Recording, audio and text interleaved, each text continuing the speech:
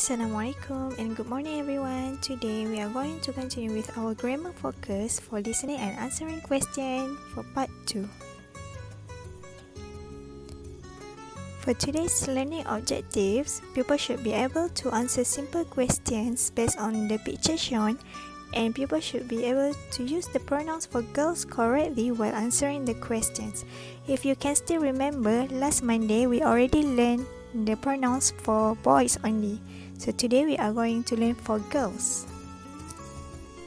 As usual, I'm going to ask you simple questions about the picture and you should be able to answer the questions using the sample sentences.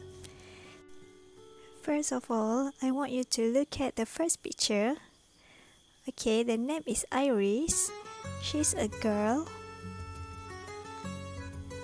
She's 7 years old and she has a doll.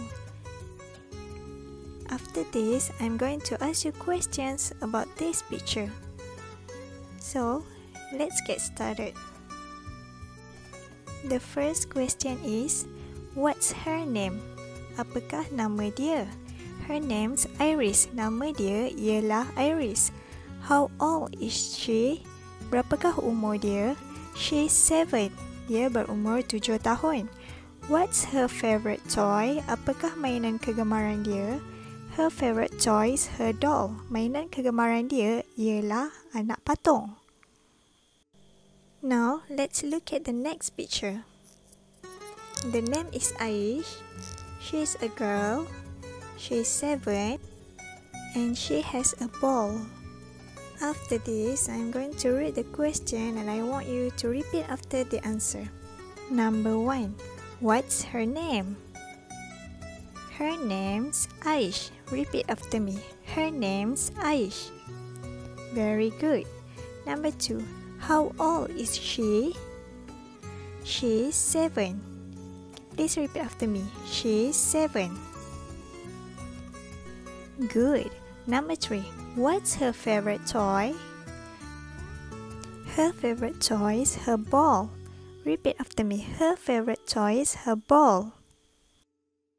Good job. Next, I want you to try to answer the questions. I will read the question and I need you to answer the question already. So, are you ready? Question number one What's her name? Very good. Question number two How old is she? Good job. Number three. What's her favorite toy? Well done. I hope you are able to answer the questions correctly. For today's task, I want you to copy the questions and answer the questions correctly in BI1. Don't forget to check on your spelling and also make sure you put full stop at the end of every sentence and please submit the task to me when you are done. Good luck!